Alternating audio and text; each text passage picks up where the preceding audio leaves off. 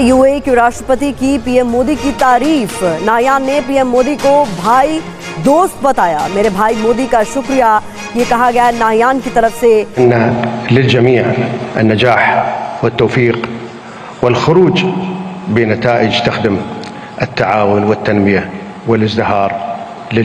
सबसे इम्पोर्टेंट चीज़ थी उसमें ये थी कि नरेंद्र मोदी को ब्रदर कहा। इंडिया के साथ उन्होंने कहा स्ट्रॉन्ग टाइज हैं। एंड ब्रदर पीएम मोदी आपको इस चीज़ की सिग्निफिकेंस होनी चाहिए। यानी कि भारत के साथ अगर हम देखें तो चाहे वो सऊदी अरब हो जो कि आप जानते ही हैं इससे पहले खैर यूएई और सऊदी अरब दोनों ही कश्मीर जो भारत साइड पे कश्मीर का हिस्सा है अ, उसमें डेवलपमेंट का काम कर रहे हैं मॉल्स बना रहे हैं क्या कुछ कर रहे हैं और अब ये वाइब्रेंट गुजरात समिट में भी जो इस्लामिक कंट्रीज़ पहुँची है वो भारत के साथ मुख्तलिफ़ किस्म के एग्रीमेंट साइन कर रहे हैं। वक्त हुआ करता था जब सऊदी अरब और यूएई को पाकिस्तान ब्लैंक चेक की तरह इस्तेमाल करता था। लेकिन आज ये दोनों देश भारत के पक्के दोस्त बन चुके हैं। अरब में भारत के लिए दोस्ती की दस्तक को साफ़ साफ़ सुना जा सकता है। मोदी साहब ने भी यूएई प्रेसिडेंट को ब्रदर कहा, ठीक है जी? और ये obviously these were the optics which Pakistan would have never wanted कि इंडिया इतना ज़्यादा करीब हो जाए अरब ममालिक के के अ, मसले मसाइल बन जाए। इस अगर वो यहाँ से छोड़ के इंडिया चले जाएँगे ना इंडिया को तो फ़ायदा होगा लेकिन अ, हमें कोई फ़ायदा नहीं चालीस सालों से दुबई और सऊदिया हमें कर्जा दे रहा है हमें इन्वेस्टमेंट कर रहा है। सर हमने उनके लिए क्या किया है? फीडबैक उन्हें क्या दिया है? मुझे उन्होंने कहा है कि नरेंद्र मोदी जो हैं वो most successful PM of India history Bharat की तारीख के सबसे ज़्यादा कामयाब तरीन वज़ीर आज़म करार दिया है। जय हिंद दोस्तों। आप देख सकते हैं किस तरीके से जो है यूआई के प्रेसिडेंट जो है भारत के नरेंद्र मोदी जी के तारीफ़ किए, बोले कि ये हमारे एक भाई हैं और ये इनका मैं बहुत ही बड़ा फ़ैन हूँ। इनकी तारीफ़ बहुत ही ज़्यादा की हो। जैसे कि अभी तो बड़े कसली मुस्लिम कंट्री के लोग ज़्यादातर पे जो किसी लीडर जैसे कंट्री का लीडर जो होता है प्रेसिडेंट वो जल्द किसी का तारीफ़ नहीं करता। लेकिन गुजरात में आपको मालूम होगा कि वर्ल्ड जो है समिट में आए हुए थे, जो कि यूएई वहाँ पे बहुत ही बड़ा जो है इन्वेस्टमेंट भी जो है गुजरात के अंदर कर रहा है। साथ में उन्होंने भारत की इतनी तारीफ़ की, नरेंद्र मोदी जी को इतनी तारीफ़ की कि भारत और यूएई के रिश्ते कितने मज़बूत दिख रहे हैं, आप लोग खुद देख कर अंदाज़ा लगा सकते हैं। वही बात करेंगे, भारत की कल्चर को भी प्रमोट किया जा रहा है, माना जा रहा है। मान लो उस पर किसी प्रकार की जो है बातों को नहीं उठाया जा रहा है, क्योंकि आपको मालूम होगा कि अभी मक्का मदीना में अपने केंद्र मंत्री स्मृति ईरानी पहुँची थी, जिन्हें उस, जिस तरीके से उन्हें इंडियन पोशाक में रखा गया, किसी प्रकार का रोक नहीं लगाया गया। हालाँकि उसमें मुस्लिम, पाकिस्तान के लोग बहुत ही ज़्यादा हैरान है। कुछ लोग हैरान है मुस्लिम की एक हिंदू को ऐसे एमबीजेड ने तो खड़े होकर स्पीच कर दी है वहाँ पे। आपको इसके कॉन्सिक्वेंसेज ही नहीं पता कि इसके क्या कॉन्सिक्वेंसेज हैं। How much this is going to be beneficial for India आपकी सोच से भी ज़्यादा ये एक इंपॉर्टेंट चीज़ है जो हो रही है।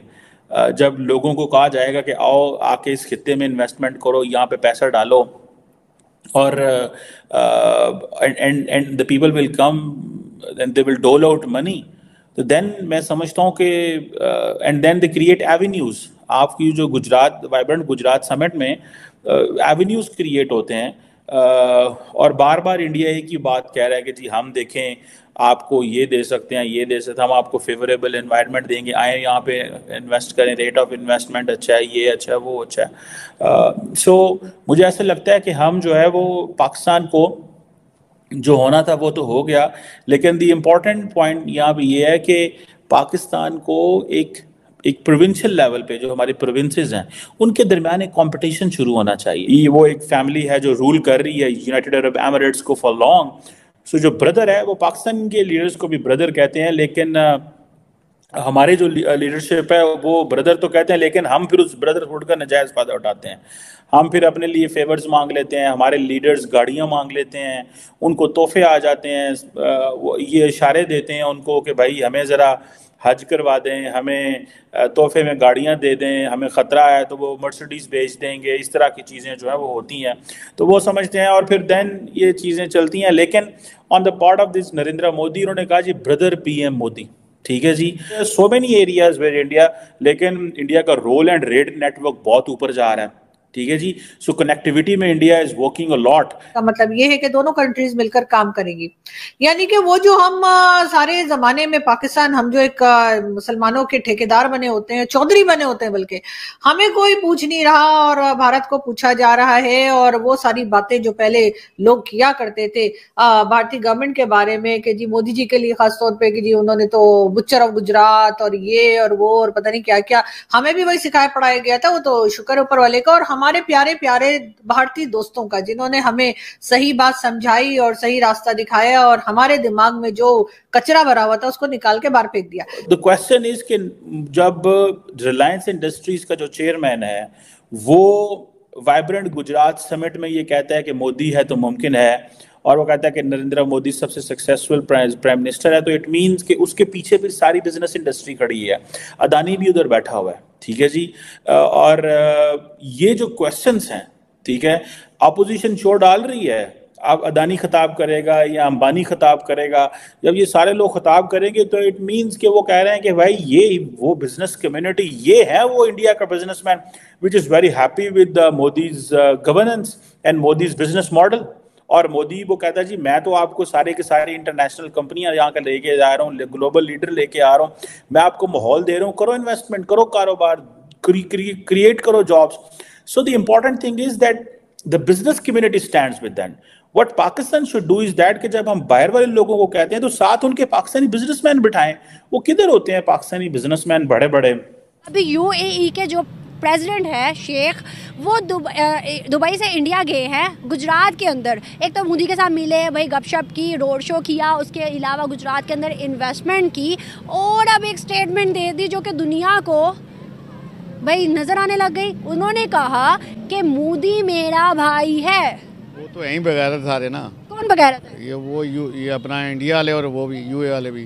पाकिस्तान के साथ कोई मुखलस है ही नहीं आज तक। अच्छा क्यों? वो इस मारे के वो पाकिस्तान को अच्छा समझते नहीं है ये लोग। पाकिस्तानी लोगों की हरकतें ठीक है। हमने जब मेरी बात सुने ना जब हमने कह दिया डायरेक्ट आपने कह दिया वो तो बगैरत है। सर हम दुनिया दुनिया हमें मुझे बताए अफ़गानिस्तान नहीं नहीं वो अच्छे हैं वो उनकी जो हुकूमत है उनके जो लोग हैं बहुत अच्छे हैं। उनकी हुकूमत है वो पैसे पूछे नहीं खाती ठीक है?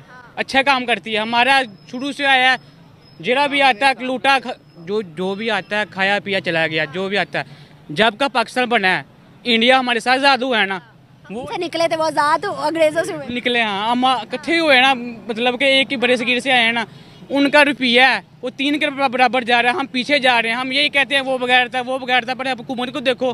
अपने मुल्क को तो देखो। अपने आप में तो नज़र डालो हम दूसरों को कहते हैं वो अच्छे नहीं है वो अच्छे नहीं है दुनिया भर के लोग हमें पूछते नहीं है। बात सुने सारे लोग ऐसे नहीं होते बुरे नहीं है सारे लोग पाकिस्तान में। अफ़गानिस्तान एक मिनट अफ़गानिस्तान मुसलमान मुल्क है ना?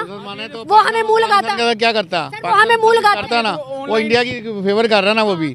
पाकिस्तान बांग्लादेश भी ये ऐसी पाकिस्तान का कितना ताउन किया पाकिस्तान ने? किया या नहीं किया पाकिस्तान ने? मगर वो इनके साथ ताउन नहीं करते। अमेरिका को अड्डे भी तो पाकिस्तान ने दिए थे ना सर सच भी तो मानना चाहिए नहीं सच अमेरिका को दिए मगर वो सारा क्या कर रहे हैं सारा कुछ?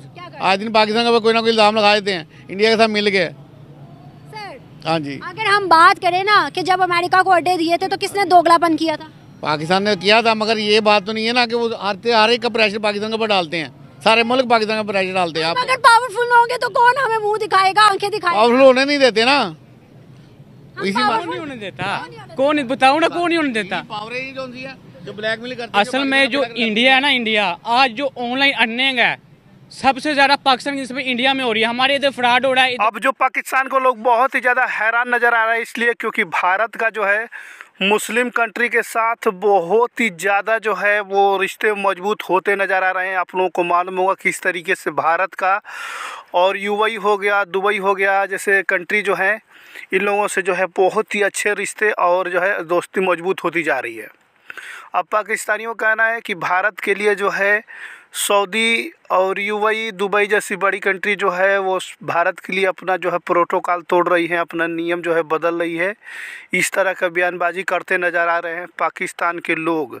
पाकिस्तानी मीडिया का ये भी कहना है कि भारत के जो केंद्र मंत्री जो पहुँची हुई हैं, स्मृति ईरानी, उन्हें जो है इंडियन कल्चर में साड़ी, मंगलसूत्र और गहने जैसे कि इंडियन पोशाक में ही उन्हें मक्का मदीना का जो है दर्शन कराया गया। साथ में जो है उन्हें किसी प्रकार का रोक नहीं लगा। इसको देख कर के पूरे पाकिस्तान के लोग हैरान हैं कि भारत के लिए जो है सऊदी या यूएई जो है, वो अपना जो है मुस्लिम तजुर्बा को जो है बदल रहे हैं। इस तरह के जो है बयानबाजी करते हुए नज़र आ रहे हैं। आप लोगों को मालूम होगा।